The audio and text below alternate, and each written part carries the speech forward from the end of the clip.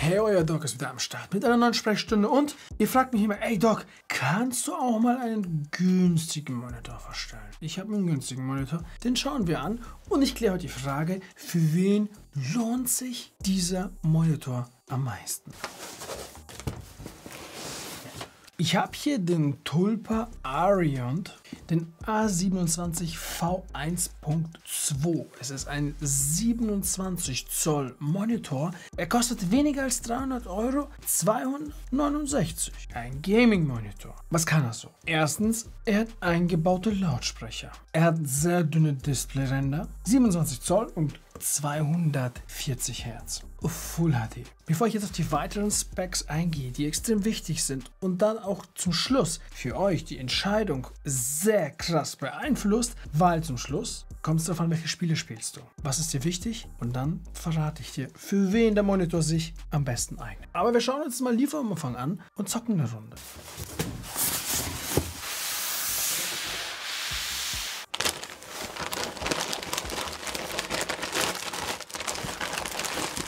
Ganz viel Kabel.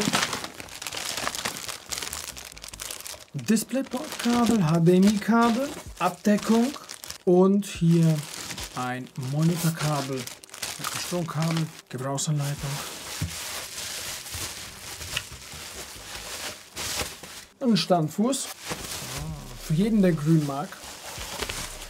Schwarz-grünes Setup. Der Monitor.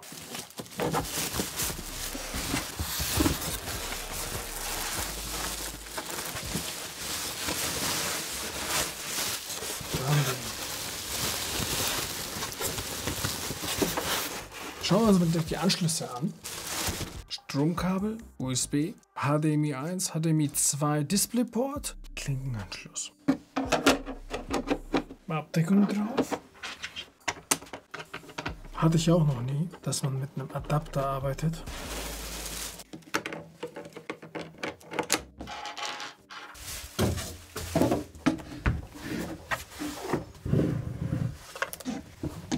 Da ist er. Schaut schön aus. Wirklich dünne Displayränder. Zum Thema Full HD. Er ist Full HD fähig, ja. Kein 4K. Für den, der einen 4K-Monitor sucht, ist dieser schon mal nicht geeignet.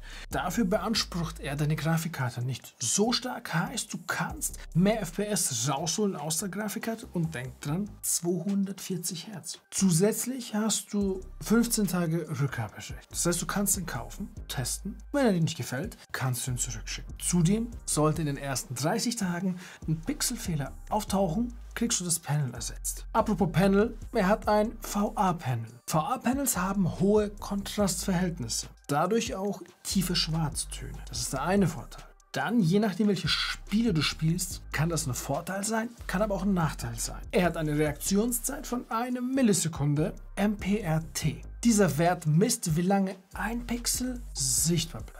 Eine Millisekunde. Reduziert Bewegungsunschärfe, ja. Ist aber für die Gamer, die nur FPS-Games spielen, für die sehr, sehr, sehr, sehr hohe Reaktionszeit wichtig ist, nicht so geeignet.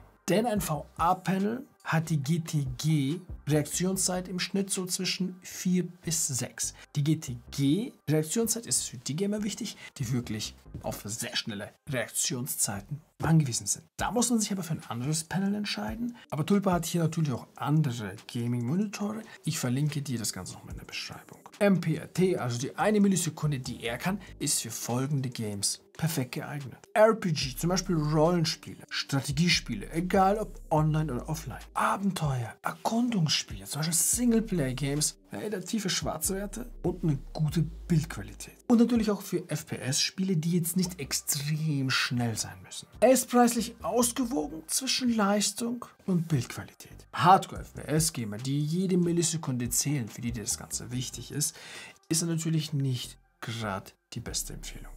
Entscheide du.